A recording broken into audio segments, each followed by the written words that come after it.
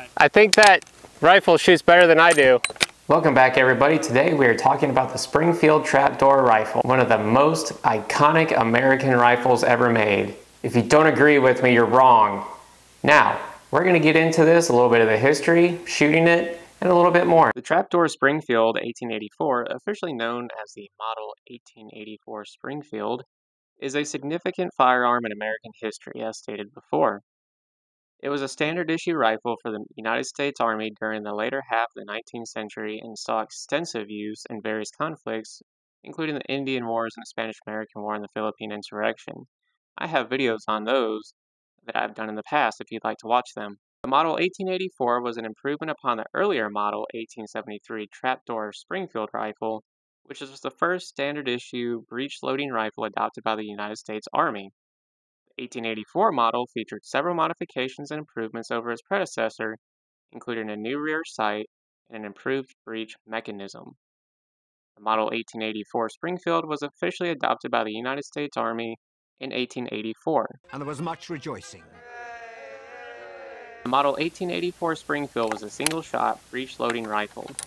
It utilized the 45-70 caliber metallic cartridge and had an effective range of up to 400 to 500 yards. Today, I was shooting at a target that was man-sized at 350 yards away.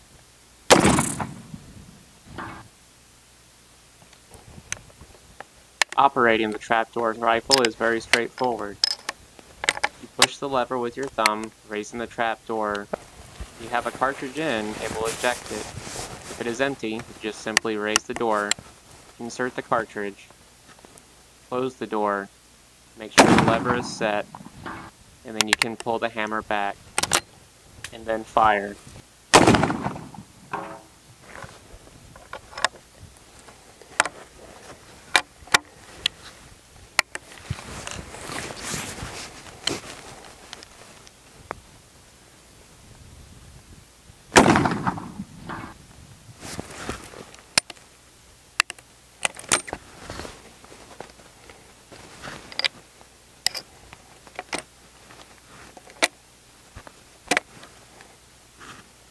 Might be a bad cartridge.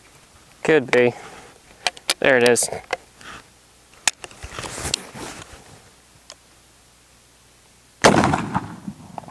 Just off the high left. Hmm. I think I'm shooting a little too fast.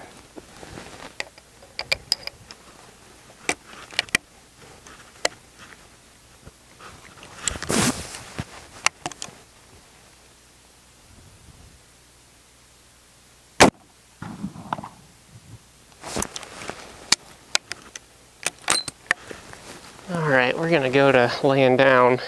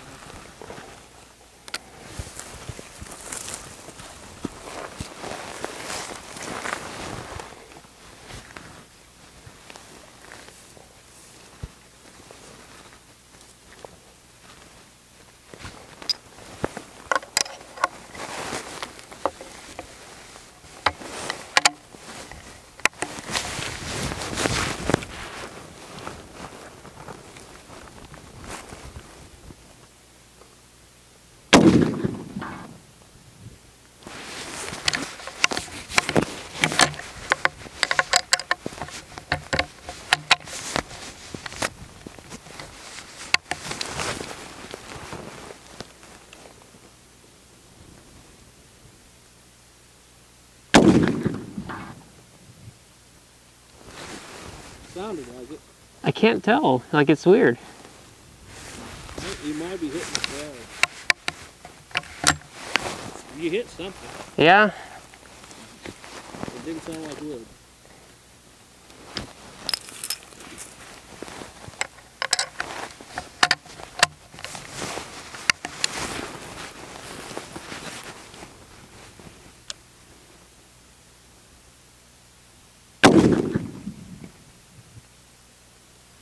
That sounded like wood. That one sounded like wood, yeah.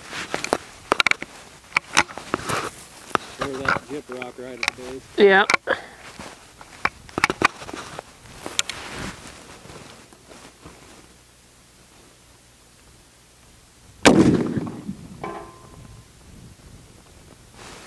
No question there. Is that a, was that a ricochet? No, I don't think so. Okay. Did you say it hit the ground first?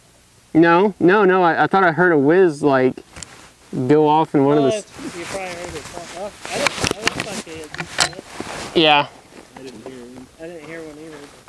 You might have. but I definitely hit the metal target, and I forgot where I was aiming at.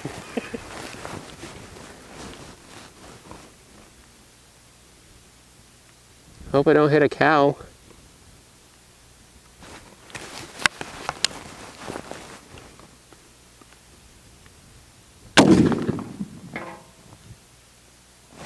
Pretty neat to see it spinning before you even know. That is pretty cool.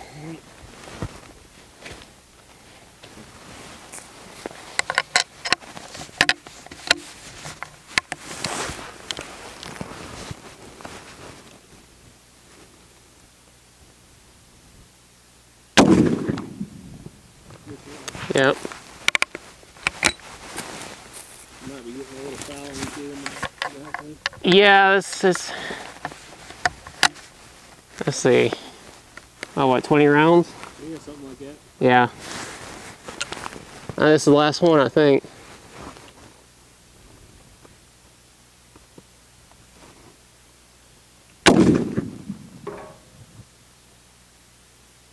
You see that bounce down and hit the ground right in front of it before the sound came back. Yeah, it's so wild.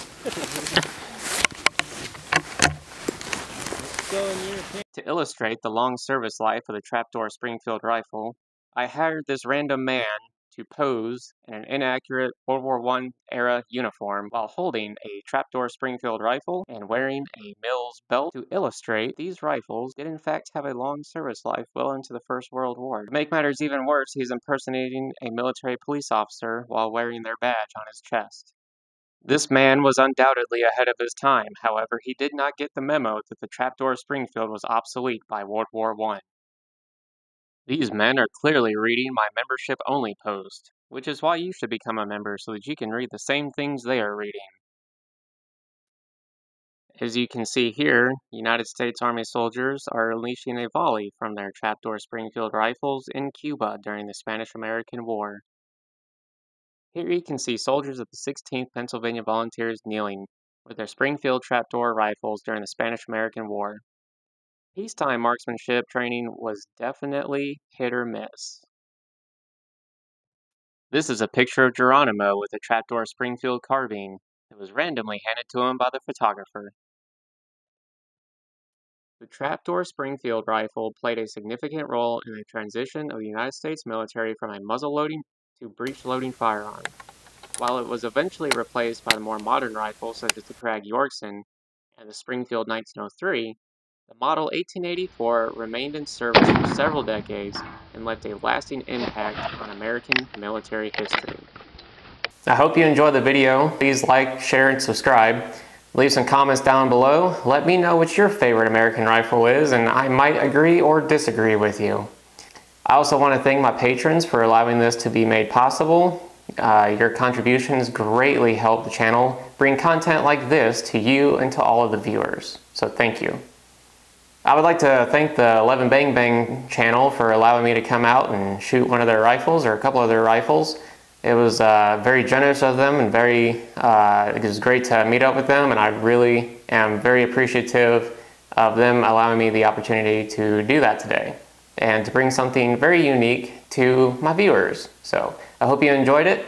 Thanks for watching. Please like, share, and subscribe, and I will see you in the next video.